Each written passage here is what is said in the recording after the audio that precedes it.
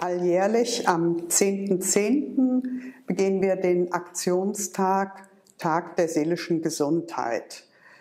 Und dieses Jahr ist das bundesweite Motto mit Kraft durch die Krise. Die Corona-Krise ist eine Krise für die gesamte Bevölkerung und auch für unser Gemeinwesen hier in Jena.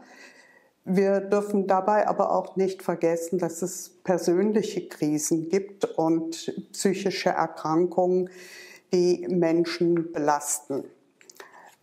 Deswegen möchte ich dazu einladen, wenn Sie selber in einer persönlichen Krise sind oder unter einer psychischen Erkrankung leiden oder wenn Sie das erleben bei Angehörigen oder Arbeitskolleginnen, wenden Sie sich an uns im sozialpsychiatrischen Dienst zur Beratung.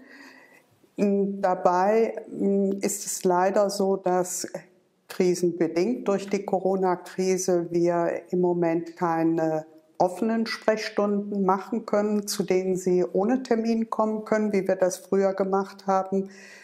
Es sind entweder Terminvereinbarungen notwendig und äh, wenn Sie an dem Termin kommen, möchte ich Sie bitten, dann auch direkt mit einer Mund-Nas-Bedeckung zu kommen und äh, dann werden Sie bei diesem Termin vor dem Gebäude abgeholt von den Kolleginnen oder dass Sie sich bei der Telefonsprechstunde melden, die wochentags von 10 bis 12 ist, beziehungsweise am Donnerstag noch zusätzlich von 14 bis 16 Uhr.